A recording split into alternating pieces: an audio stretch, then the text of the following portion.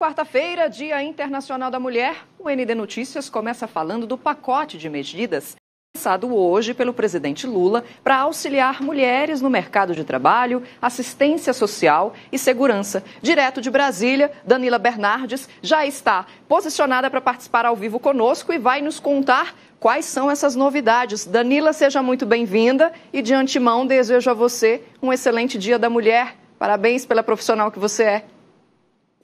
Oi, Kelly, boa noite para você, boa noite para quem nos acompanha. Parabéns pelo Dia da Mulher também para você, para as mulheres da nossa equipe e para quem nos assiste também, né? Temos muitas mulheres aí ligadinhas no ND Notícias. Pois é, hoje foi anunciado então esse pacote, são 11 medidas no Palácio do Planalto pela manhã, com a presença do presidente da República, também com a presença das 11 ministras, né, mulheres aí que estão à frente de ministérios aqui em Brasília, e foram anunciadas então essas medidas e algumas, inclusive, têm que passar aqui pelo Congresso Nacional para começar a valer. Nós separamos as principais para mostrar para vocês, vai aparecer aí na tela. Olha só, a primeira delas é com relação à equiparação salarial. Isso é um projeto de lei para incentivar as empresas a não terem essa diferença de salários.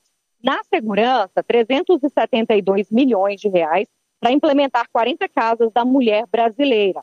Programa Nacional de Equidade de Gênero, Raça e Valorização das Trabalhadoras do SUS, também a política de enfrentamento ao assédio sexual e moral e discriminação. Mostrando mais uma tela com a cota de 8% para mulheres vítimas de violência nas contratações da administração pública, tem que destinar essa cota de 8%.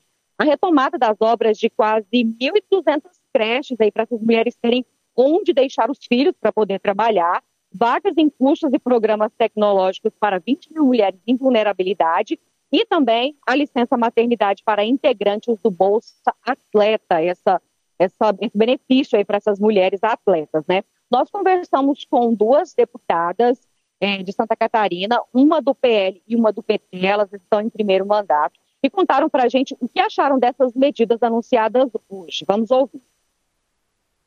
A que é mais importante é aquilo que as mulheres vêm enfrentando a todo momento, que é a questão da violência, que é uma epidemia no nosso país e que tem vitimado, perdendo a vida de várias mulheres.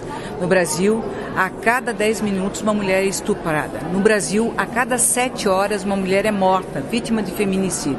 Então a política pública do governo federal, além de combater a fome, sairmos do mapa da fome, é acabar com essa epidemia que é o feminicídio das mulheres brasileiras. A gente precisa sim corroborar e apoiar as medidas é, que buscam né, realmente diminuir e mitigar o que acontece é, em termos de violência.